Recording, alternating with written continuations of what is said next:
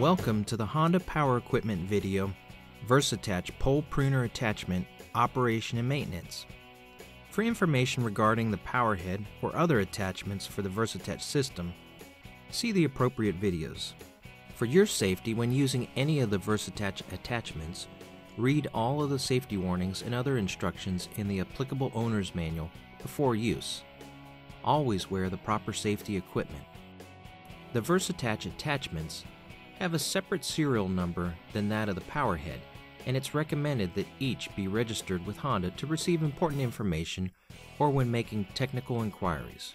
Please take a few minutes to register your unit online at powerequipment.honda.com forward slash registration. Before operating the VersAttach pole pruner attachment, let's identify its components.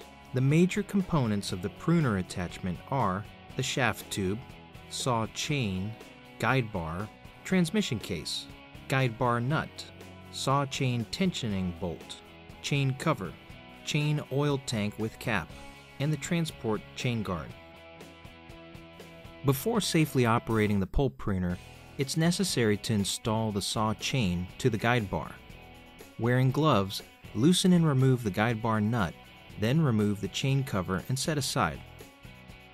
Turn the tension bolt counterclockwise to move the tensioning pin toward the drive sprocket, and then install the sawed chain with the sharp edges of the chain facing the tip of the guide bar as shown, making sure the chain meshes with the drive sprocket. With the chain loosely installed in the guide bar groove, begin to tension the chain by turning the tension bolt clockwise until the chain has about 1 16th of an inch slack between it and the guide bar. Reinstall the chain cover and lightly tighten the guide bar. Then, recheck the saw chain tension. With the guide bar pulled upward, the chain slack should be about 1 8th of an inch. Tighten the guide bar nut securely. Confirm that the saw chain can be rotated freely in the normal direction of rotation. Install the chain guard and leave installed until you're ready to use the pruner attachment. Before operating the pole pruner attachment, make sure that the chain oil reservoir is full of high quality chain oil. Operating the pruner without chain oil can prematurely wear or damage the chain and guide bar. The pruner is equipped with a translucent chain oil reservoir so that the operator can easily see when the oil level is getting low. When filling, be sure to keep dirt, debris, and wood chips out of the reservoir. To install an attachment to the power head, simply loosen the joint knob. Twist the set pin knob 180 degrees from its locked position and firmly insert the attachment tube so that the black arrow on the attachment tube is aligned with the projection just ahead of the set pin knob. Once the attachment is inserted fully, an audible click will be heard from the set pin knob as it locks the attachment in place. Once fully inserted, use the joint knob to secure the attachment as shown. The power head should never be run without an attachment or damage to the power head may occur. Once the attachment is securely installed, it's recommended to inspect the pruner and power head for possible safety concerns, like loose parts or damaged safety guards.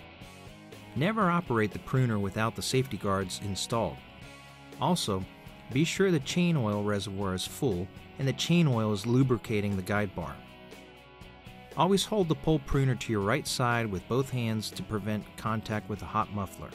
It's recommended to increase the throttle to full speed for maximum cutting efficiency and allow the engine to idle when not cutting.